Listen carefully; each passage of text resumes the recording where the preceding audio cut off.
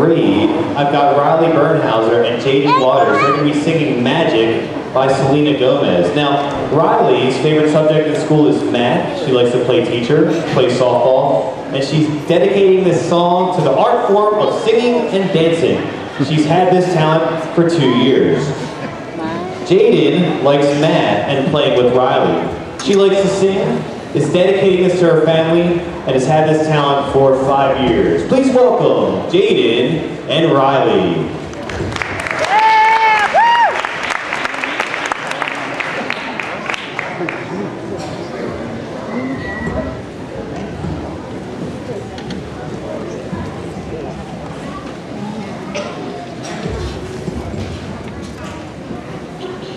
Yeah,